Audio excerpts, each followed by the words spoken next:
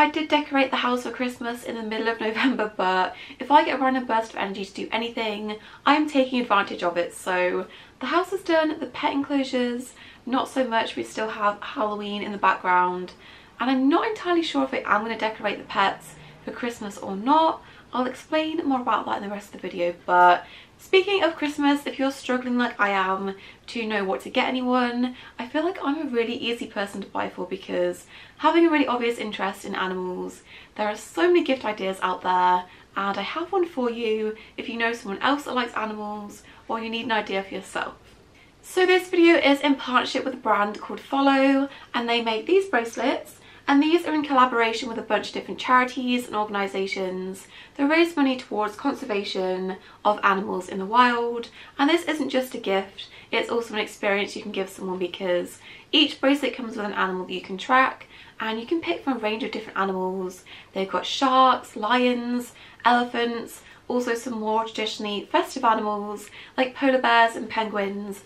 I remember one christmas i was given a polar bear to track and that was pretty much the best present ever so so many animals you can buy the bracelets for and support the conservation of them in the wild so if you are interested in getting some of these bracelets for Christmas or just treating yourself to one, you can use my discount code and that is Emiology20. That gets you 20% off your entire order while still donating the same amount of percentage of profits to help animals in the wild and the link to their website is going to be down in the description.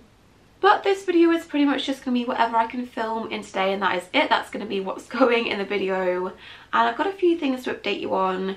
Things have been pretty hectic, so let's start with the pets. So this is what my office is looking like at the moment. We have a mouse hotel going on.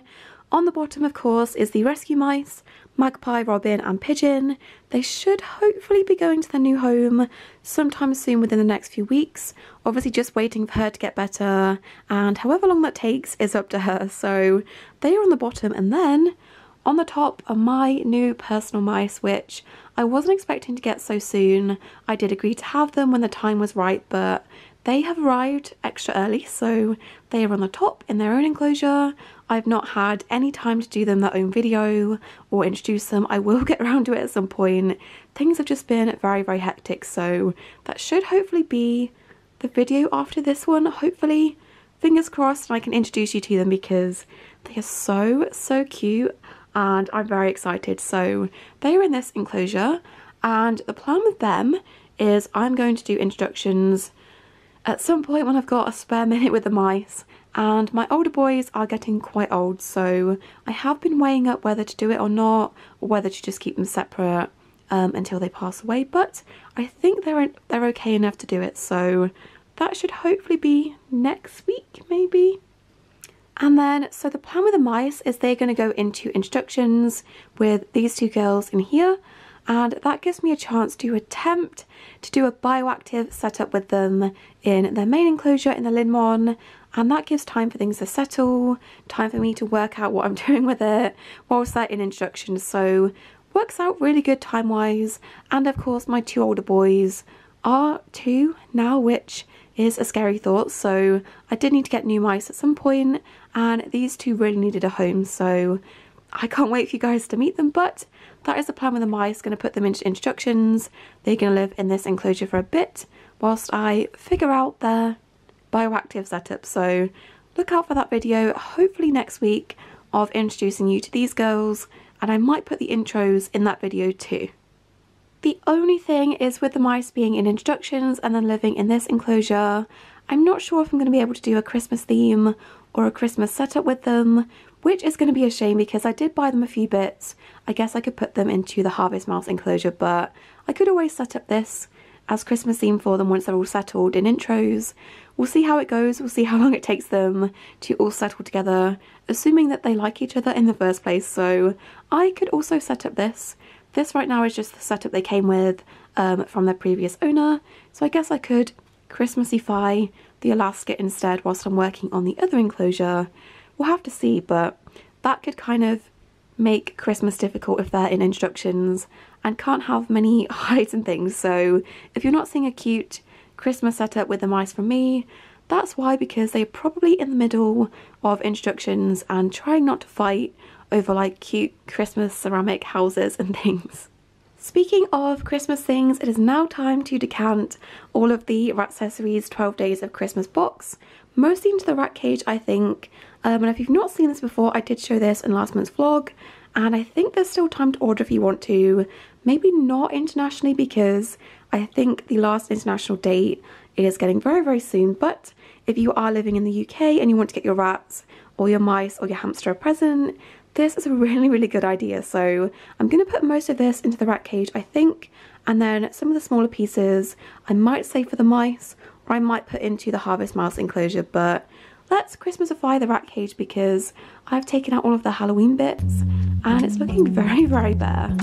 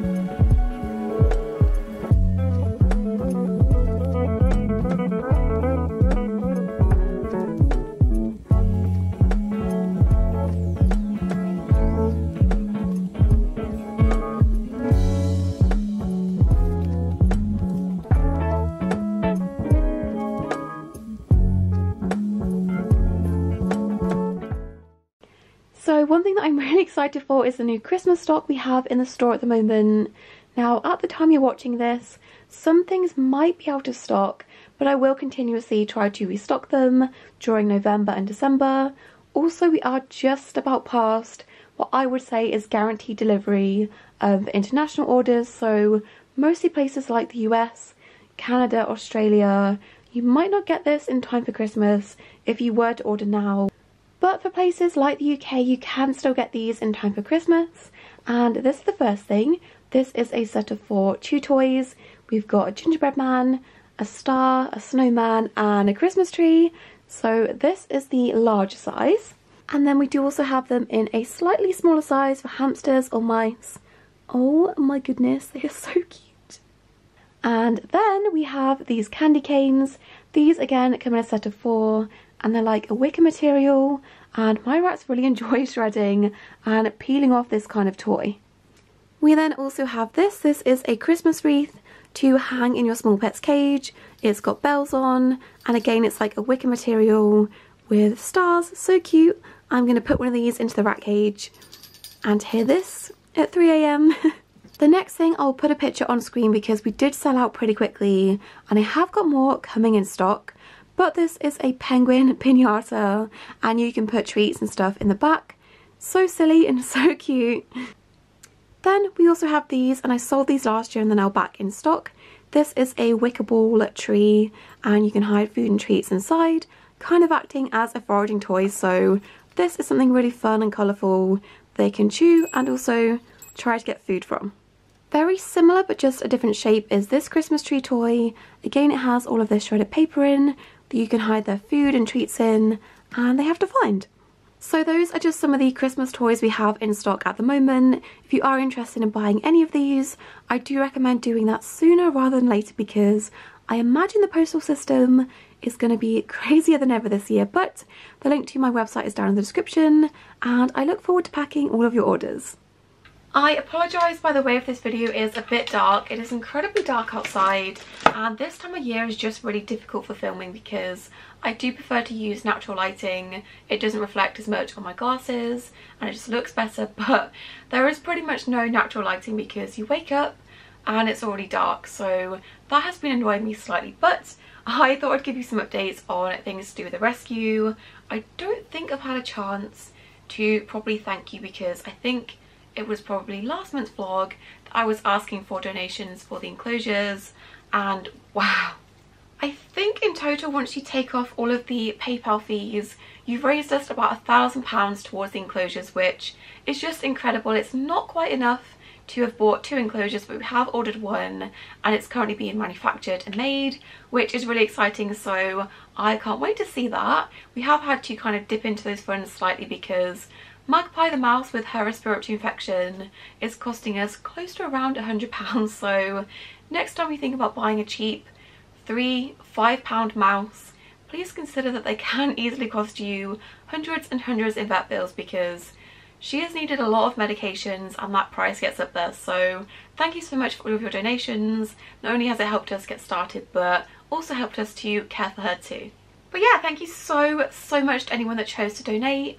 You can still if you want to because there's always going to be running costs with animals and buying things. So our PayPal and bank account is in the description and also the fundraiser is still going because we still need more enclosures and things. So all of that will be linked in the description. But in terms of like animals that are coming in obviously we've still got the mice that need to be looked after.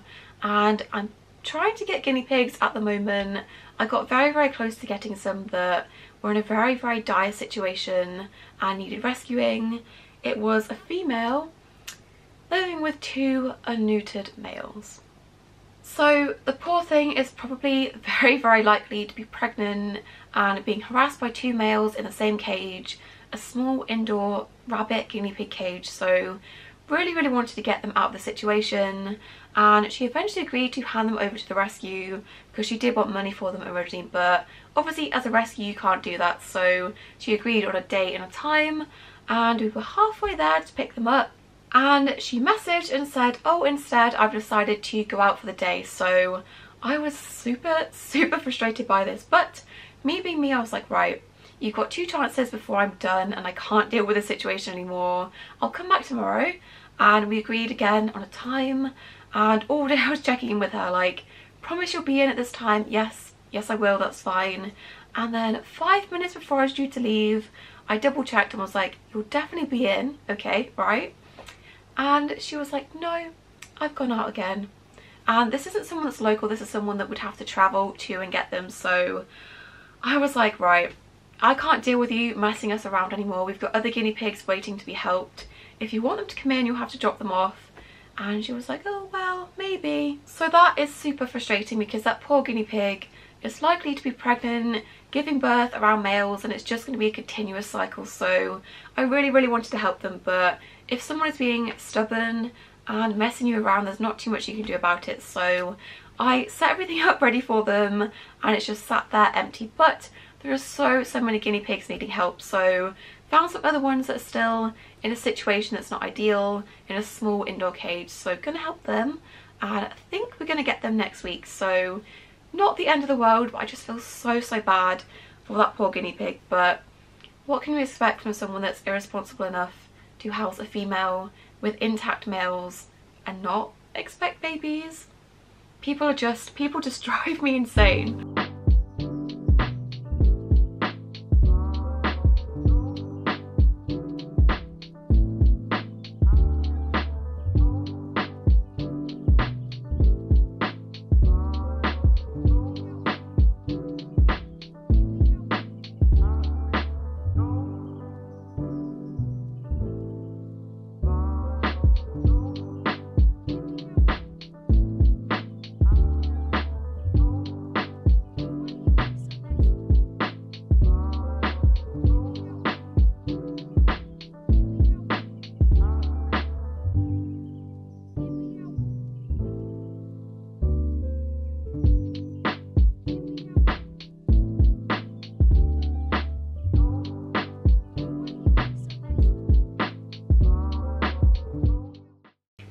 I asked my lovely channel members if they had any questions and we've got a few. The first one is, do you know when you'll get your puppy? No, so when it comes to dogs and puppies, nothing is guaranteed pretty much until they're a few weeks old and you get assigned or matched to a puppy. So could be a couple of months, could be way longer, I'm not sure. And I won't really know until closer to the time. And how have you been feeling and the pets? I'm okay, my body is just acting up. I can't really walk very well because my left knee I, I assume it's something to do with EDS or hypermobility but my left knee is absolutely wrecked so that's fun. And the pets are doing okay. Obviously magpie the mouse i think that was another question. How is the little rescue mouse magpie doing? All better now. She's doing a lot better especially on the new medication. Hello.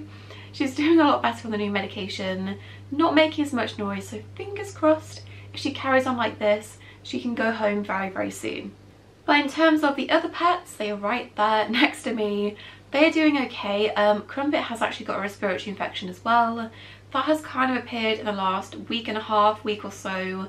Um, just about as we turn the heating on. So assuming that is kind of connected, but good timing because when I took him, when I took Magpie to the vets, I also took Crumpet as well. So he is now also on medication for a respiratory infection and he hates taking his medication. So it feels like everyone is on medication at the moment, but everybody else is doing okay. I think I mentioned this earlier on in the video, but my two older mice, Possum and Flurry, they are both around two years old minimum right now, so they are looking a bit rough. They don't look as healthy as they would have done in their prime. They're a bit patchy here and there with their fur. Obviously one of them is a Texel, so he looks a bit sparse, a bit patchy, and they both just look like little old men because they are. So everyone else is doing okay. There is a rat biting the back of me right now. Excuse me. Stop biting clothing. Interrupting the Q&A part of this video just slightly because the rest of these clips are pretty dark and you don't just want to stare at my face for the rest of the video so I have filmed some clips of the rats and the mice um, playing with their new foraging toys. So I'll put those clips in now and then carry on with the Q&A so you have something a bit more interesting to look at. So before I sell anything in my store, whether it's treats, toys, accessories, I always like to try them with the rats and the mice first just to make sure they're suitable and they can use them. This is one of the new toys. It's like a PVC pipe type foraging toy and I'm going to fill this up for them. So we have this and then these ones I'm really excited for. They look like this and they're just about the right size that mice can also use them too. So this one they have to spin these bits. You can just put this in the enclosure like this or you can also screw this to the bars if you wanted to. So that is going to the mice and then we have this one similar but slightly different. They have to lift up the different flap sections. So this is lightweight enough that hopefully the mice should be able to lift this. So let's give it a go and see if they can. But these are now in my store because I've been trying this one with the mice and this one with the rats as you can see and it's been going well so very very excited to have new toys for my pets but also for your pets too. Next question is what has been your favourite thing about having harvest mice? No offence to my fancy mice but I would say they are so much more fascinating to watch they are out and about way more often. If I see my fancy mice once a day, then I'm lucky. But the harvest mice, at least one of them, is always about doing things. They're so fun to watch. And definitely their prehensile tails. Although fancy mice will sometimes wrap their tails around your hand and each other, the way that harvest mice use their tails is just the cutest thing. So I think that would probably be my favourite thing.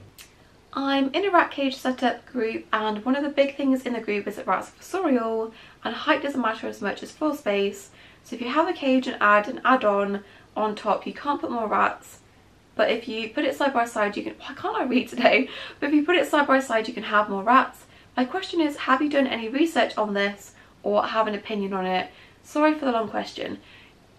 Um, yes, I agree with this. Rats are fossorial and even though they do spend a lot of their time up in the hammocks, in the cage, floor space is so, so important and more important than having height in the cage. And I do think it's a shame that this, the cage I've got, is pretty much the biggest cage you can buy in the market because they could be way, way wide if they wanted to. Um, and you can, of course, add add-ons to them, as I mentioned. And if you are going to do this and you do have the space, it is much more beneficial to put this on the side rather than the top. I know some people with cages like mine do recommend you can put 10, 12 rats in these. Personally, just in my personal preference and opinion, I couldn't personally see more than 5, 6 rats at a push in a cage this size.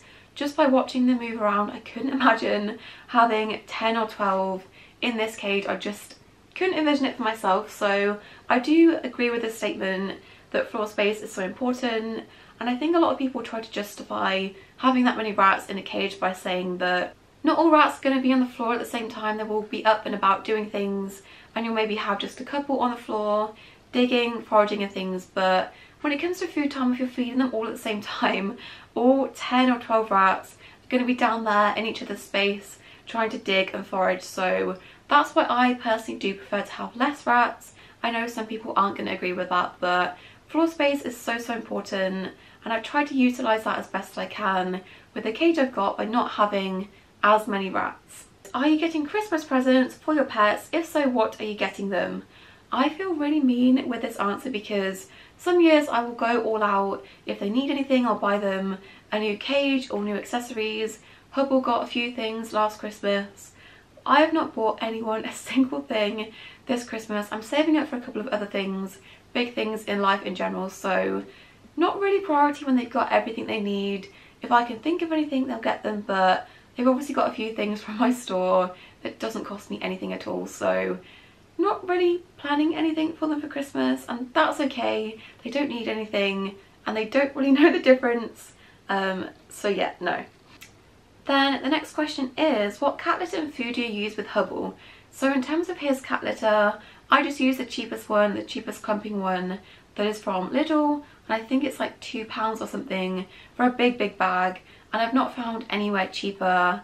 And then for his food so he was raw fed for an entire year and that was mostly because that's what I thought and what people tell you you're supposed to do and it just didn't work for him. For me it was a nightmare. It caused both of us so much stress so instead he is now on brand called Nature's Menu and it's pretty much the next best thing. It's like a high quality um, wet food and he likes it so that is what he is fed on. But that is all of the questions. I just had to run and get my laptop because I want to thank all of my channel members. But these are the names of the rats here. We have got Alison M, M Robertson, Evelyn C, Neki Rose, I really hope I'm saying that correctly, Rhiannon M, um, Serena F, Jessica G, Brett Jessica W. Please can you just stop?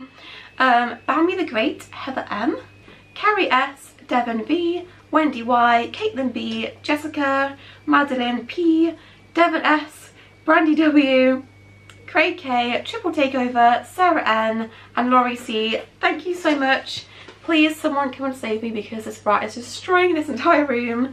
But if you are interested in becoming a channel member and seeing updates on new pets, which there is actually new pets which I've mentioned in this video but these guys have already seen them and know all about them so that kind of thing happens over on my channel membership but I hope you guys enjoyed this impromptu rushed video. I did consider not doing one this week because things have just been hectic but I am trying my best and I can't not upload anything so I hope you guys enjoyed watching. Don't forget to subscribe and I'll see you in my next video.